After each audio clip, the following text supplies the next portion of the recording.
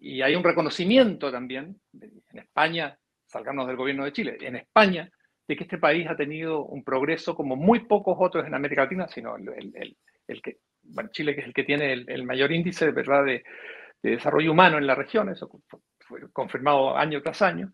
eh, y me parece un poquito ideológico, por no decir eh, desubicado, este análisis simplista que hace el embajador sobre lo que ha sido Chile en los últimos 30 años. Al mismo tiempo está tocando, está tocando intereses y sensibilidades